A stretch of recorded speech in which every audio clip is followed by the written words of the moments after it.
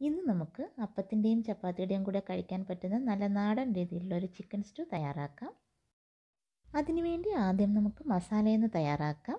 ഒരു പാനിലേക്ക് രണ്ട് കറുവപ്പട്ട ഒരു തക്കോലം മൂന്ന് ഏലക്കായ അര ടീസ്പൂൺ പെരിഞ്ചീരകം ആറ് ഗ്രാമ്പു ഇത് ഇത്രയും ചേർത്തൊന്ന് ഡ്രൈ റോസ്റ്റ് ചെയ്തെടുക്കാം. അത് കഴിഞ്ഞ് ഇത് നന്നായിട്ടൊന്ന് പൊടിച്ചെടുക്കാം. ഒരു മിക്സിയുടെ ജാറിലേക്ക് എടുത്ത് നന്നായിട്ട് പൊടിച്ചെടുക്കാം.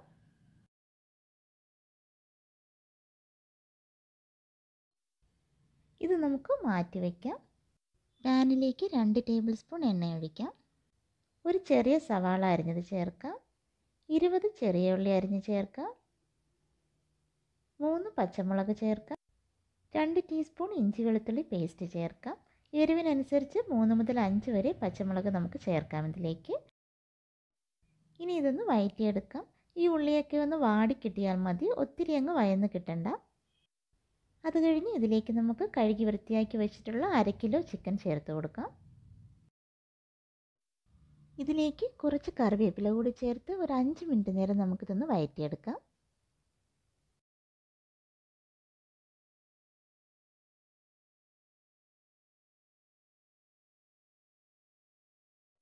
ഇനി ഇതിലേക്ക് ഒരു മീഡിയം സൈസ് ഉരുളക്കിഴങ്ങ് അരിഞ്ഞത് ചേർത്ത് കൊടുക്കാം. ആവശ്യത്തിന് ഉപ്പ് ചേർക്കാം. ഇതെല്ലാം കൂടി നന്നായിട്ട് മിക്സ് ചെയ്ത് നമുക്ക് അടച്ച് വെച്ചൊന്ന് കുക്ക് ചെയ്തെടുക്കാം. ലോ ഫ്ലെയിമിൽ വേണം ഇത് കുക്ക് ചെയ്തെടുക്കാൻ. ഇതിലേക്ക് വെള്ളം ചേർക്കേണ്ട ആവശ്യമില്ല. ചിക്കനിൽ നിന്ന് വരുന്ന വെള്ളത്തിൽ തന്നെ ഇത് നന്നായിട്ടൊന്ന് കുക്കായി കിട്ടും. ഈ വെള്ളം നന്നായിട്ട് വറ്റുന്നത് വരെ നമുക്കിതൊന്ന് അടച്ച് വെച്ച് കുക്ക് ചെയ്തെടുക്കാം.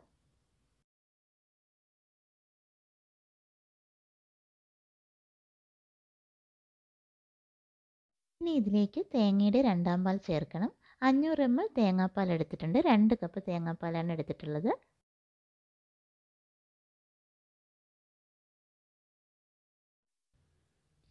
തേങ്ങാപ്പാൽ ചേർത്ത് കഴിഞ്ഞ് നമുക്കിതിലേക്ക് പൊടിച്ചു വച്ചിട്ടുള്ള ഗരം മസാല ചേർത്ത് കൊടുക്കാം.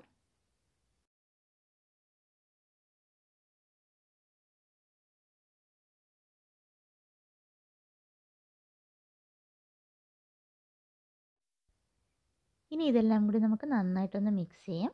അത് കഴിഞ്ഞ് ഇത് തിളച്ച് വരുന്ന സമയത്ത് നമുക്കിത് അടച്ചു വെച്ച് ഒരു പത്ത് മിനിറ്റ് നേരം ലോ ഫ്ലെയിമിൽ ഇതൊന്ന് കുക്ക് ചെയ്തെടുക്കാം.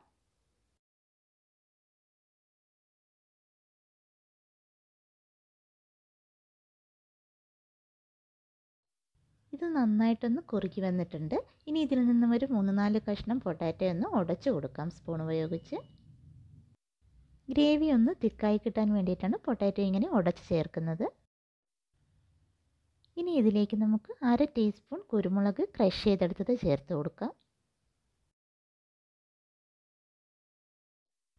ഇനി ഇതിലേക്ക് ചേർക്കുന്നത് തേങ്ങയുടെ ഒന്നാം പാലാണ്. അരക്കപ്പ് തേങ്ങയുടെ ഒന്നാം പാൽ ഇതിലേക്ക് ചേർക്കുന്നുണ്ട്. ഒന്നാം പാൽ ചേർത്ത് കഴിഞ്ഞാൽ കറി തിളയ്ക്കരുത്. ഇത് നന്നായിട്ടൊന്ന് മിക്സ് ചെയ്തതിന് ശേഷം നമുക്ക് ഫ്ലെയിം ഓഫ് ചെയ്യാം.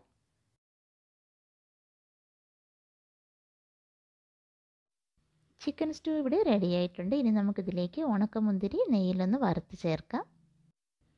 ഒരു ടീസ്പൂൺ നെയ്യിൽ കുറച്ച് ഉണക്കമുന്തിരി ചേർത്തൊന്ന് റോസ്റ്റ് ചെയ്ത് നമുക്ക് കറിയിലേക്ക് ചേർത്ത് കൊടുക്കാം.